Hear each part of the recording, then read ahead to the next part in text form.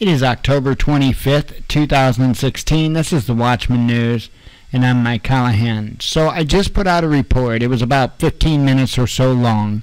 Um, I read through the entire article. I played the video that accompanied the article, and uh, and it got a copyright strike. Okay. Now, in and of itself, you might think, oh, you played somebody else's video. Well, wait. Let me explain. Right. I've seen this article a couple other places, and it's from The Intercept, and it's titled Pentagon Video Warns of Unavoidable Dystopian Future for World's Biggest Cities. Now, I'm going to put the link to this down in the description of the video so you can go and read it yourself. I'm not reading it all over again.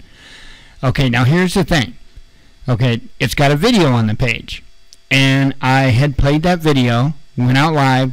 Um, viewers noticed that I got spanked for it um, okay, you know, I went ahead and uploaded it and all that. Sure enough, it showed me that there was a strike. There was there was copyrighted content in the video.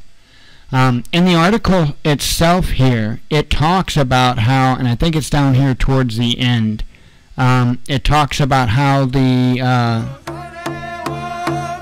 it, it talks. Sorry about that.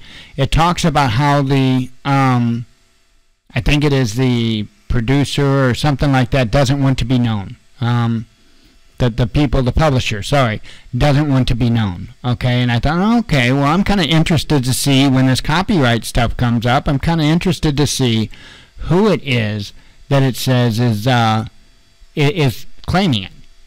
So we shall go there. Here we go. Your video has been blocked. Copyright content was found in your video. Because of the claimant's policy, this video can't be played on YouTube. Viewing restrictions, video blocked in all countries. No monetization. If I agree with these conditions, like I got a choice, um, you don't have to do anything. So, the content, the complaint, the visual content, and it showed uh, from 9 minutes and 59 seconds to 11 minutes and 12 seconds. Uh, I could play the match here, but guess what would happen? Okay, so anyway, here's the claimant. This is the interesting thing. I had no clue what this is, right? This uh, I can't even pronounce it here. I, I, I know the word universal in there. I know day, but other than that, I, I can't even pronounce that. So I Googled it. This is what I come up with.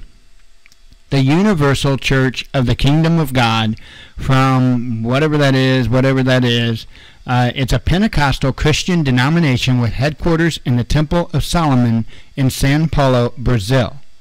Okay, that is who is claiming the copyright for this video here that is talking about a, a dystopian future. This, this Pentagon video, okay, that's talking about a dystopian future. So I thought that in and of itself was was kind of crazy.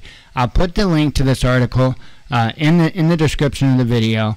Uh, I urge you go and read it. Um, it goes right in line with uh, Agenda 21, Agenda 2030, um, and, and, you'll notice a lot of other things in the article uh, as you read through it that will kind of set off alarm bells in your mind.